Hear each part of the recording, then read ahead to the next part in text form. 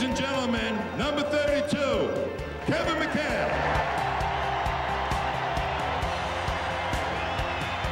It means so much to me to go up there with those people, not only as players, as the human beings that they are. I knew every single night that we stepped on the court that we were going to give it our best shot. And a lot of times those were championship years, but I was lucky enough to win three of them here.